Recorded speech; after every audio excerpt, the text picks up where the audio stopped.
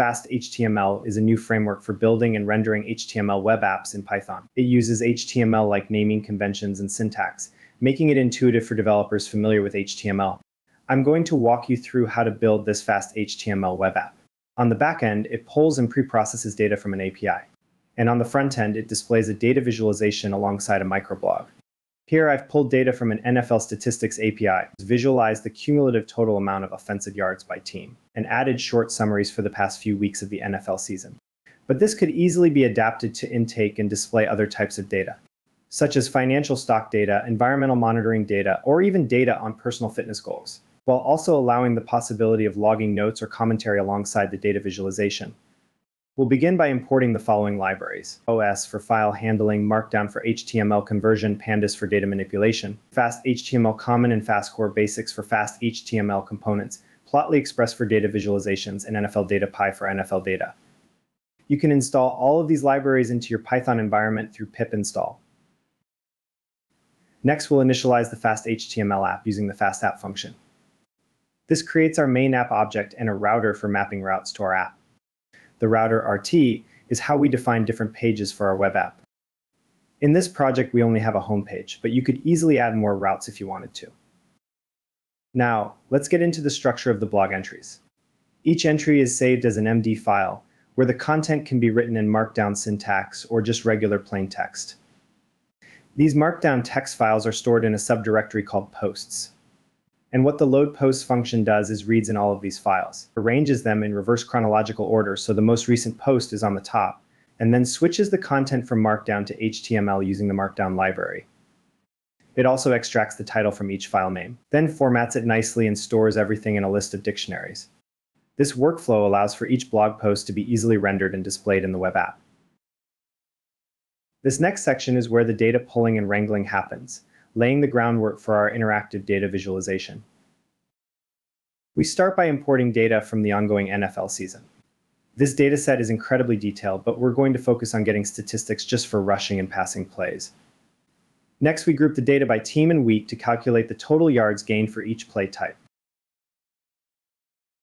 We then combine these statistics into one dataset, pivot it for easy tracking, and calculate cumulative yards over the season. Finally, we prepare the data for visualization using Plotly Express, creating an interactive chart that highlights each team's offensive performance in rushing and passing throughout the season. The chart is then converted to HTML using the toHTML function, which is crucial for embedding it into our fast HTML web app. On a broader scale, this process of data wrangling and visualization is highly adaptable. You can use your own data sets, whether for sports, finance, or any other field, and generate interactive charts or tables. You could even adapt this code to intake real time, updating data sources. What is essential though is that the final output, whether a table or a graph, needs to be converted to HTML. This step is crucial for embedding the content into fast HTML. Okay, so at this point we've created functions to read in the blog post as well as to import and graph our data. We can now put everything together and define the content layout for our homepage. The homepage is configured using the RT decorator, where the forward slash denotes the root URL of our web app. The home function starts by calling the load post function and the generate offensive yards chart function, and stores the results as objects for later use in the content layout. Underneath, we dynamically construct the content of the web app using Python in a way that's equivalent to writing HTML directly. For instance, when we create article elements, it's just like defining article tags in HTML. The h1 tag serves as the post title, styled with a class post title, mimicking how you'd use h1 in HTML. Similarly, the div element wraps the post content, and not str ensures that this HTML content renders as intended. This Python syntax mirrors the familiar HTML structure, making it easy for developers to understand and work with. So the first part of the content layout loops over each post and saves it into article posts in the same structure. Next, let's walk through everything that happens from the return statement onward. The return statement here sends the assembled HTML content to the browser as a complete and dynamic web page. But this is also where we assemble the final layout in one step. First, HTML wraps the entire page content, serving as the root element of our HTML document. Second, the head section then defines the metadata and styles for our page, for which we can set the page title that will be shown in the Browser tab and set a CSS style sheet from an external source. And just like an HTML document, we can also set custom CSS arguments. The styling here defines how elements like the header, container, posts, and chart are styled.